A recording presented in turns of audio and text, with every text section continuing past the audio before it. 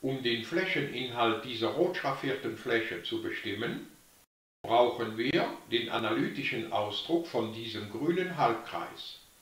Der gesamte Kreis hat in diesem Bezugssystem als kartesische Gleichung x minus 0 im Quadrat plus y minus 0 im Quadrat gleich 2 im Quadrat, weil das Zentrum dieses Kreises als Koordinate 0, 0 hat und der Radius von diesem Kreis 2 ist.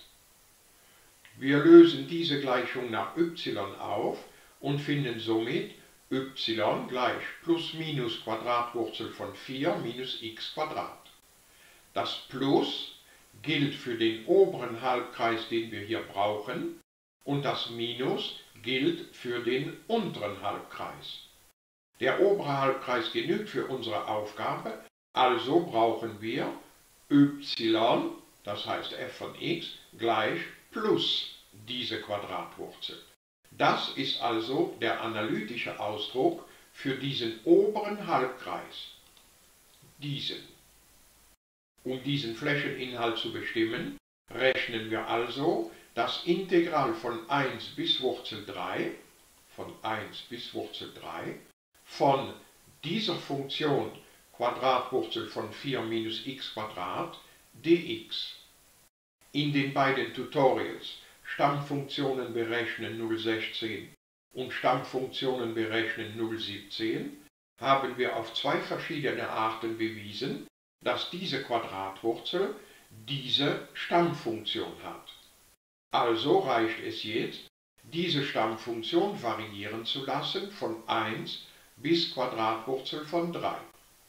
Die Stammfunktion können wir noch etwas einfacher schreiben, weil dieser Bruch 2 ergibt und weil 2 hoch 2 4 ergibt.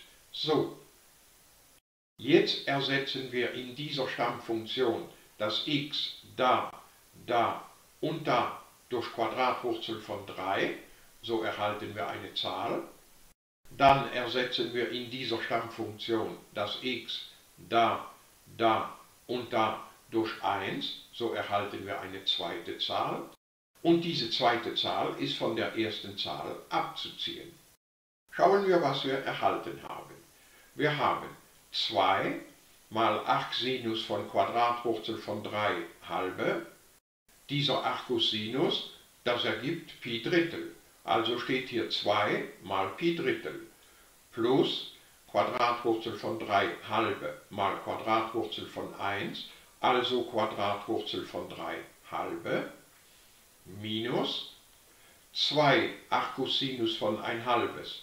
Arccosinus von 1 halbes, das macht Pi Sechstel, also steht hier 2 mal Pi Sechstel, plus 1 halbes mal Quadratwurzel von 3. Wir haben also dieses erhalten. Wir sehen hier die Quadratwurzel von 3 geteilt durch 2 und da minus die Quadratwurzel von 3 geteilt durch 2. Also diese Termen verschwinden. Somit bleibt also nur noch 2 Pi Drittel minus 2 Pi Sechstel und 2 Pi Sechstel ist Pi Drittel. 2 Pi Drittel minus 1 Pi Drittel, das macht Pi Drittel. Der numerische Wert von Pi Drittel ist ungefähr 1,0472. Also dieser Flächeninhalt beträgt ganz genau Pi Drittel und ungefähr 1,0472. Aber 1,0472 was? Es sind 1,0472 Einheitsflächeninhalte. Das heißt, in dieser rot schraffierten Fläche passt dieses Quadrat einmal hinein und dann noch ein bisschen, also 1, ein bisschen. Das scheint doch mit unserer Zeichnung übereinzustimmen. Was bedeutet, unsere Antwort hat große Chancen, richtig zu sein. Sie ist richtig.